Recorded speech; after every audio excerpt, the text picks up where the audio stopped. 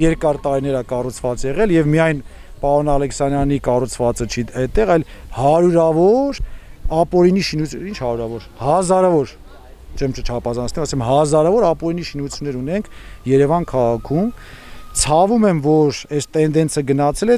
եւ ցավս այնտեղ է, որ մենք ունենք օրենսդրական, հա, մենք ունենք կառավարության որոշում,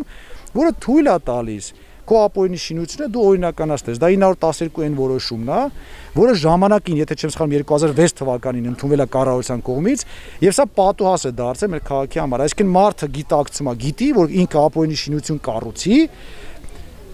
կարող է այնուհետև դիմել եւ օրինականացնել իր շինությունը։ Մենք 2019 թվականի փետրվարին արդեն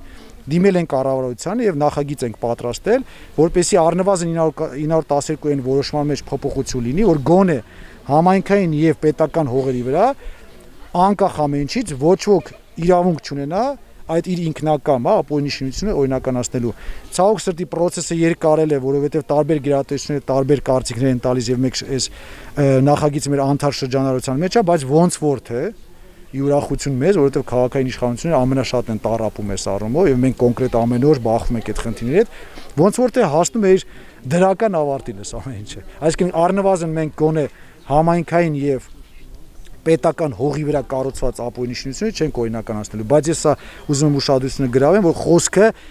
այդ պահից սկսած շինությունների մասն է, որովհետև հետադարձ ուժ օրենքը չի ունենալու։ Այսինքն մինչև այդ կառուցված բոլոր ինքնակամ կառույցները ունենալու են երկու ճանապարհ, կամ իրենք դիմելու են եւ պարտավորություն կա մեր վրա օրենքի կողմից դա օրինականացնելու կամ մենք մերժելու ենք օրինականացում եւ համապատասխան ընթացք է ստանալու այդ ամենը։